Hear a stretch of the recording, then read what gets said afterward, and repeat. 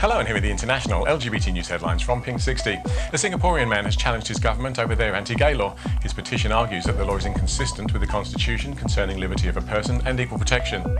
Activists in the Lithuanian capital, Vilnius, have responded to a spate of anti LGBT arson attacks by giving away over 500 rainbow flags. Others were also encouraged to hang their flags outside and post photos online with the hashtag LGBT friendly Lithuania.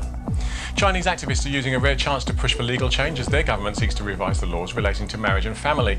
On Monday, Sun Wenlin posted a guide on how to submit legal revisions, with its hashtags recording over 50 million views. Dating app OkCupid has joined forces with GLAAD to improve its inclusivity with a new pronouns option for users.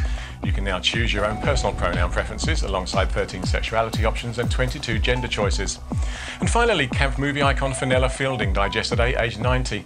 Fielding vamped it up in the 1966 comedy Carry On Screaming to become a household name, and her final film role came in last year's gay superhero movie Surge of Power Revenge of the Sequel. Well, that's all from us for today. Join us again tomorrow for more of the latest LGBT news headlines.